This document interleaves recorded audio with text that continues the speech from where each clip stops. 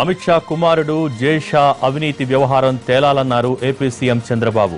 తనపై కేసులు పెడతామని బీజేపీ నేతలు అంటున్నారని అసలు అమిత్ షా కుమారుడి అవినీతిపై కేసుల సంగతేంటో తేల్చాలని డిమాండ్ చేశారాయన ఏపీలో పార్టీలు ప్రజల వైపు ఉంటాయో బీజేపీకి కొమ్ము కాస్తాయో తేల్చుకోవాలని సవాల్ విసిరారు. కేంద్ర ప్రభుత్వం రాజ్యాంగ వ్యవస్థల్ని నాశనం చేసిందని మండిపడ్డారు. యూపీలో ఒక్క రాజ్యసభ సీటు కోసం బీజేపీ నాయకులు దిగజారి వ్యవహరించారని గుజరాత్లోనూ అహ్మద్ పటేల్ను ఓడించేందుకు ఈడీ సీబీఐ లాంటి వ్యవస్థల్ని ప్రయోగించినా ఓడిపోయారని గుర్తు చేశారు చంద్రబాబు. ఏపీలో మూడో రాజ్యసభ సీటు గెలుచుకునే అవకాశం ఉన్నా విలువల కోసం మూడో స్థానానికి పోటీ పెట్టలేదన్నారు చంద్రబాబు.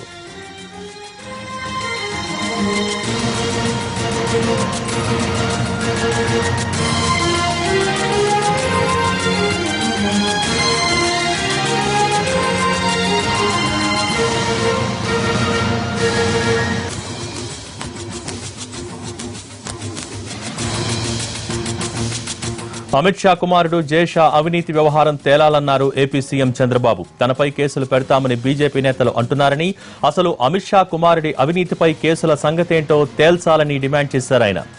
ఏపీలో పార్టీలు ప్రజల వైపు ఉంటాయో బీజేపీకి కొమ్ము కాస్తాయో తేల్చుకోవాలని సవాల్ విసిరారు.